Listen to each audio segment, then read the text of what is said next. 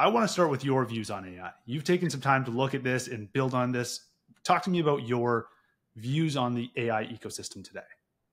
Yeah. So the way I kind of, like I said, right, it's like you solve problems by writing code, right? It's like 70% solution and just start continue operating and moving in that direction, right?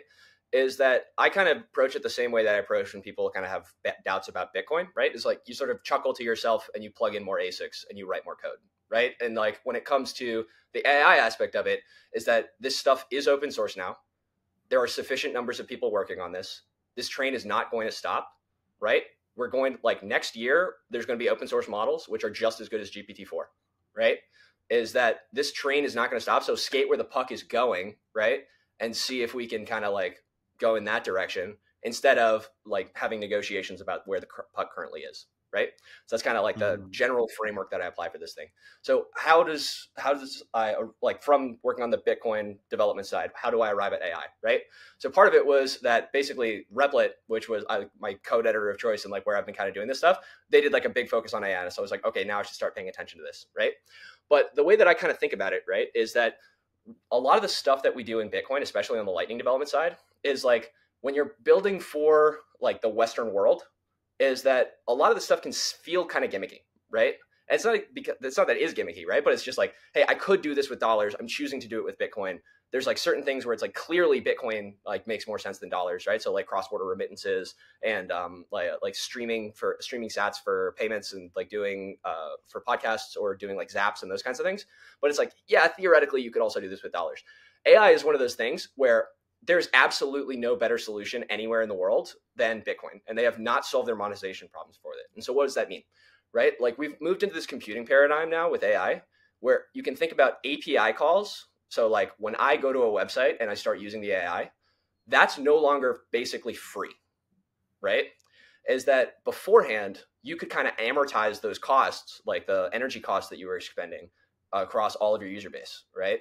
And so it's like, yeah, sure, 90% of my users don't pay. They use the free version, but they're monetized by the fact that I get those 10%, right? Who pay me a lot of money. Okay.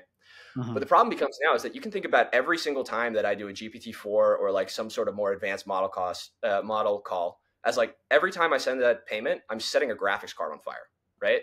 Like estimates for GPT-4 call, calls are somewhere between like three cents and eight cents per uh, per call that you do right? Sorry for um, per conversation that you have, right? Is like you can't hmm. just mm-hmm. open this stuff up to um, infinite of people, and so we're in this new computing paradigm, and you, when you think about it at first, people currently they're trying to using like Stripe for it, right? But it's like okay, well now you've just limited your market to basically exclusively Western developers. For um, normally people who are going to be using computers or whatever, right? Like skate where the puck is going on this stuff. Where you've got millions of developers who are going to be coming from uh, the rest of the world. They're primarily going to be coming from mobile. They're also not going to have access to dollars, right? Is like what's a mechanism that you can use to allow them to build to allow them to use your service as well right? And this is where bitcoin comes in especially like the l402 standard right? So l so I, you've talked about this before on your podcast but just a summary in case people haven't heard of it is that 402 is a reserved status code in the http specification right? Is that normally when you hit a web page and it doesn't exist it'll come back with 404 not found right?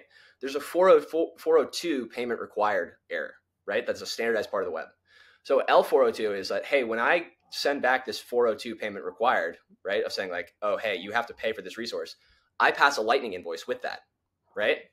And then the response is that you've paid the Lightning invoice and you provide the proof of payment, right? And so all of a sudden, this, this is like a clear match for Lightning, right? Of that, like when you're hitting an API endpoint, and the API endpoint is going to cost like three to five cents or three to eight cents, like basically regardless of who uses it and when you have to pass that cost along to the user, right? And there's no better solution for that than Lightning, especially because Lightning has this invoicing system which allows you to do a proof of payment, right? And it doesn't get in the way of the user uh, flow, right? So I've been building a bunch of like chatbots and those kinds of things, right? That use Lightning on the back end. I'm getting paid in real time, and it's not getting in the way of the user experience, right? Because it's a live Lightning payment um, at like, yeah. So that's kind of like the first part, right? Of that, like you have to be able to pass these costs along to the user. And then you see some of the development in agents, right? And so basically, you can think about AI, like the big generative AI push that everyone's been doing right now is based off large language models, right? And so for that one is it's like trained on like the entire compendium of human knowledge, tokenized and like represented as text.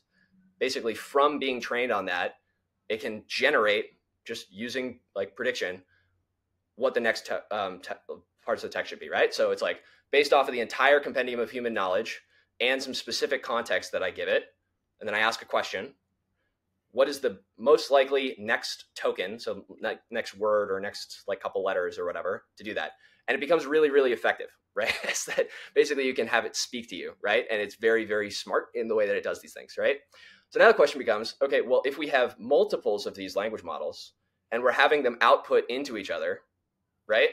Well, now we can basically have something that acts as an autonomous agent, right? And so, like, for example, the first pass that it can do when you ask it for something is it can split that task up into subtasks and then assign those to different things and say, oh, hey, the best way to solve this would be to use this code specific language model, right? And then feed that task into that one. And then it would say, oh, well, he's also asking about, like, I don't know, like using Expedia or something, right? So it's like Expedia has been running a model and they have like specific context that's available to them.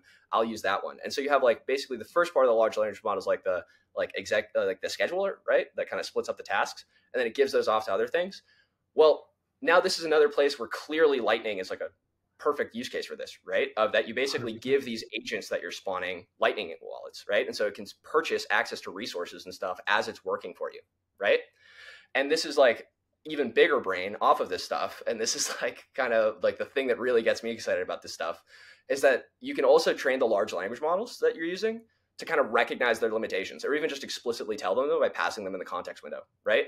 So basically you can be interacting with one of these models or you can be interacting with an agent and as part of the context that you're feeding into it right you can say tell it what its capabilities and limitations are and if you ask it for something that it can't do it can use the bitcoin that you gave it to get a human to do that part of the task that it wasn't able to do, right? And then feed it back into itself and continue operating, right? So these are just a couple ideas that like really got me excited about um, like the applications for this.